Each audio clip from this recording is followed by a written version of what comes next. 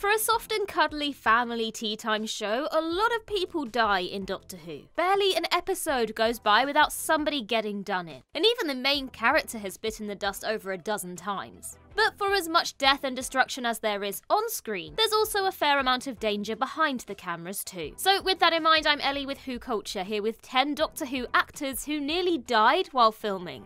Number 10, Alan Chuntz in Inferno. The seventh season of Classic Who went out with a bang with the seven part serial Inferno. Jon Pertwee's third Doctor gets flung across time and space to an alternate reality version of Earth. In this strange new world, the UK is run by a fascist government. You can make your own jokes with that one. During a scene in episode 3 involving the Doctor's car, Bessie driving at high speed, stuntman Alan Chuntz, who we're just going to call Stuntman Al from here on out because I don't want to butcher his name any more than I already have. Well, Stuntman Al took method acting a step too far and was actually struck by the vehicle for real. This caused a serious leg injury to the performer and he was immediately transported to A&E. Actor John Levene called it the worst wound he'd ever seen. Poor old Pertwee was so distraught by nearly running a man down that he became ill which pushed back shooting by several hours. Thankfully, stuntman Al recovered and he even returned to work on Doctor Who a bunch more times and presumably kept his distance from Pertwee and his road rage.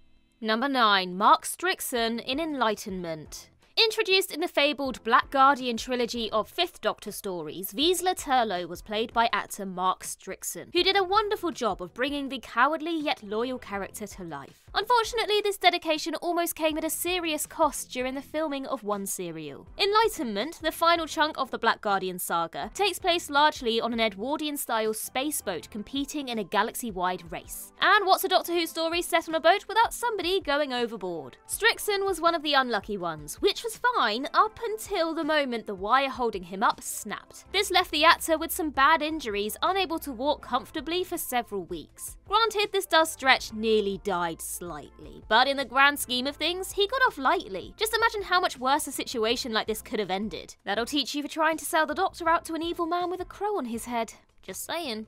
Number 8. Terry Walsh in Terror of the Autons.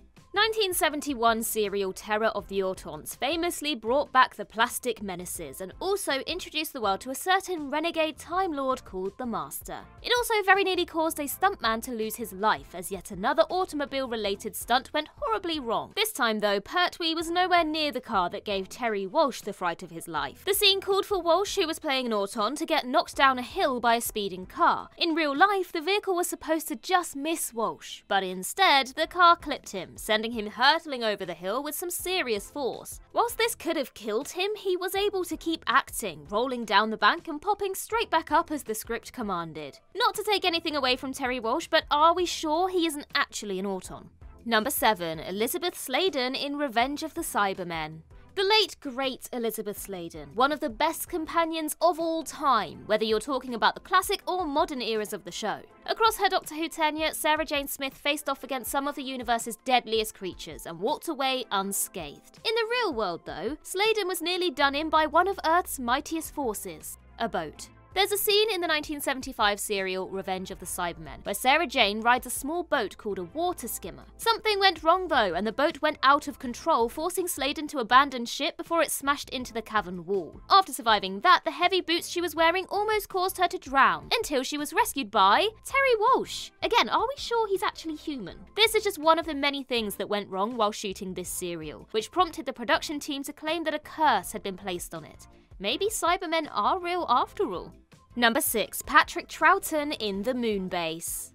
For the first in our Whoops, We Nearly Murdered the Lead of Our TV Show series, we turn the clock back to 1967 and the second Doctor, Patrick Troughton. In his first season as the Doctor, Troughton and his companions travelled to the moon in the year 2070 and discovered that it was being used as a platform for the Cybermen to launch an attack on the Earth. Wait until they find out it's actually an egg. That'll shock them. In classic Doctor Who fashion, this episode features a gizmo that is used to control the planet's weather. It's called the Gravitron, and it almost smushed Troughton to death. During camera rehearsals for episode 1, the Gravitron prop fell to the ground right where Troughton had been standing a few seconds earlier. He came within inches of a very nasty accident, plus the embarrassment of his headstone having to read crushed by a Gravitron. Fortunately though, he didn't suffer any injuries and the prop was rebuilt before filming commenced. Number 5. Sophie Aldred in Battlefield.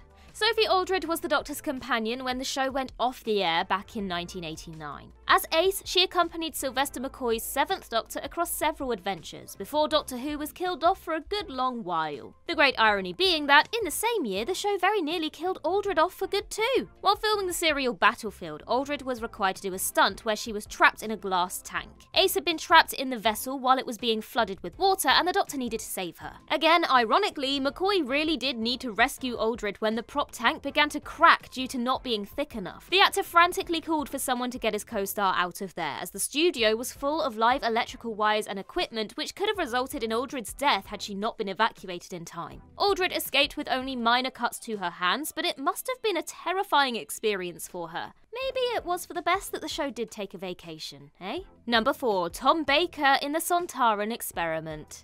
You can't kill Tom Baker, the nicest man with sheep hair ever to walk the earth. No, you can't. Well, this nearly happened, and it nearly happened very early on in his Doctor Who career. The Sontaran Experiment was the third serial broadcast with Baker in the lead role. It was filmed entirely on location at Hound Tor in Dartmoor, a beautiful but rocky part of the English countryside. During a confrontation with one of the titular aliens, Baker got a little too physical and ended up falling onto some of the rocks. In the words of Elizabeth Sladen, I heard this snap, well, crack. Baker immediately knew that something was wrong. He couldn't move and was horrified, as was the cast and crew who wondered why he wasn't standing up. Ultimately, it transpired that he'd only broken his collarbone, but just imagine how much more serious this could have been if he'd struck his head instead. By some luck, Baker's famously long scarf helped cover the neck brace that he needed to wear throughout the rest of filming. For some scenes, he was doubled up by Terry Walsh! Okay, seriously, this is getting freaky now. Somebody call UNIT about Terry Walsh. Number 3. Patrick Troughton. Again, in the War Games. Did Patrick Troughton accidentally scratch a BBC bigwig's car or something? One near death experience is an accident, but two? That's a conspiracy, right there. In his final regular serial, the Doctor and companions Jamie and Zoe must stop a tyrannical alien known as the Warlord from conquering the galaxy by using soldiers from across history to fight in his army. Maybe he should have recruited a rock to join his forces, because that's what nearly finished off Troughton in this story. During a stunt that called for our three heroes to stand near an explosion, Troughton became uneasy about where his mark was. He asked to see a run through of the blast, which the stunt coordinator obliged to. Wouldn't you know it, once the explosion went off, a large chunk of debris flew through the air and landed right where Troughton was meant to be standing. Clearly, playing a Time Lord must have given the actor some sort of precognition, and thank goodness it did. Number 2, Jodie Whittaker in Spyfall and Praxeus. For a couple of episodes in New Who's 12th series, the cast and crew flew to South Africa to film on location. Unfortunately, this part of the world had a near fatal surprise in store for them. This involved the local wildlife, which almost caused a whole heap of trouble for the show's leading lady, Jodie Whittaker. On the Graham Norton show in late 2019, Whittaker revealed that while filming a scene in either Spyfall or Praxeus, both of which were partially shot in South Africa, she got up close and personal with a very dangerous animal, a sac spider. This creepy critter crawled onto her face while she was filming a scene, causing her to freak out, understandably, and quickly remove her costume to get rid of it. Sac spiders are highly venomous, and one bite to Whittaker during the frenzy could have been enough to spell her end. What's even more terrifying is that one of the assistant directors actually picked the spider up to get rid of it. It was probably Terry Walsh in disguise. That's the only way he could have survived. Number 1. Everyone in the greatest show in the galaxy. Seventh Doctor serial The Greatest Show in the Galaxy featured the time traveler and Ace attempting to stop an evil circus from enslaving people for their own wicked form of entertainment. However, the Doctor almost never tangled with these gods of Ragnarok because the entire story was nearly shut down before filming finished. Scenes for this story were meant to be shot at the BBC's television centre until a load of asbestos was found there. Asbestos is a material that was commonly used as an electrical insulator and flame retardant before people found out it was really bad for your health, as in if you inhale it, it will kill you slowly and painfully kinda bad. Luckily, the substance was found before anyone came into contact with it, so nobody came to any harm. Pseudo filming was cancelled and alternative arrangements were made. Elsewhere, during a scene where McCoy had to walk away from an explosion, its radius was much bigger than he expected. He was caught on the edge of the blast and some of his clothes even caught fire. Seriously, this show is actually cursed. And that concludes our list. If you can think of any other examples, then please do let us know in the comments below. And while you're there, don't forget to like and subscribe and tap that notification bell so you never miss a Who Culture video video ever again. Also, head over to Instagram and Twitter to follow us there. I've been Ellie with Who Culture, and in the words of River Song herself, goodbye, sweeties.